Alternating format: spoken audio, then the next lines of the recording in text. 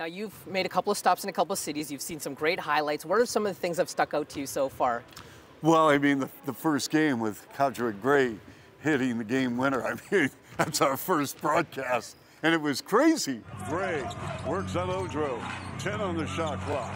We're down to six. Top side for the win. Bam! Onions, baby onions! Get out the salami and cheese, mama! Ottawa has won the CEBL opener. I mean, you know, and, and I'll say this. I really didn't know too much about the target score other than the NBA All-Star game and whatnot.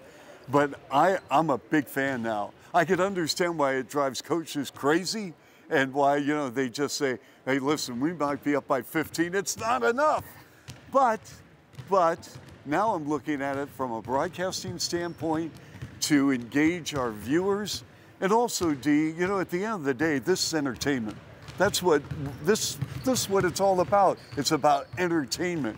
And what better way to entertain the fans who are watching a team maybe get blown out, but then what we talked about earlier, opportunity. There's an opportunity now in the final four minutes or less to put together something. You have a target score, the clock stops, you've got the uh, shot clock, that's about it, and play hoops.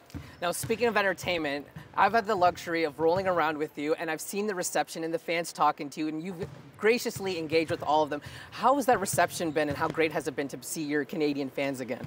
Well, I mean, it's humbling to say the least because I left 15 years ago, not five years ago, not five months ago, 15. So the fans that, you know, have come up to me have been very gracious, very kind, and also the players. You know, there are a lot of Canadian players mm -hmm. who grew up during that Vince Carter, Chris Bosh, early Bosh run when we were doing games.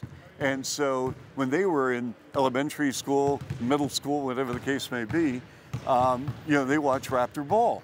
So they, of course, come up to me as players now in the NBA have done, whether it's Tristan Thompson, Jamal Murray, uh, Shai Gilgeous-Alexander, Kelly Olynyk, uh, Cory Joseph, right down the line where they go, salami and cheese. and it makes me feel good, to be honest with you. So it's a great segue, because the number one question I get is, how did Chuck come up with salami and cheese? How did he come with onions? You've got these catchphrases. Where did they come from? Well, salami and cheese came from a fan who wrote a letter, and he said, listen, you know what?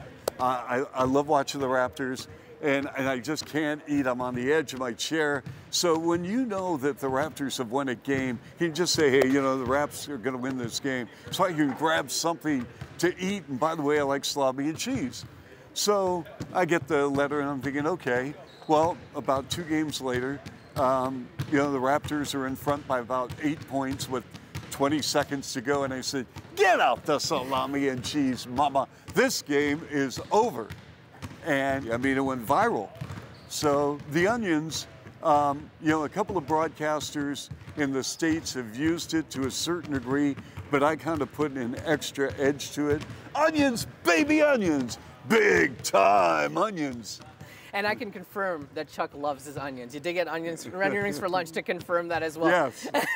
well, listen, Chuck, I've appreciated your time. If there's one thing that I always tell people is you're very kind and you're very gracious and you're exactly what people would hope you would be. So I appreciate you taking the time to sit down with us and look forward to your call tonight. My pleasure. And you know, for our CEBL fans, number one, thank you for inviting us into your home.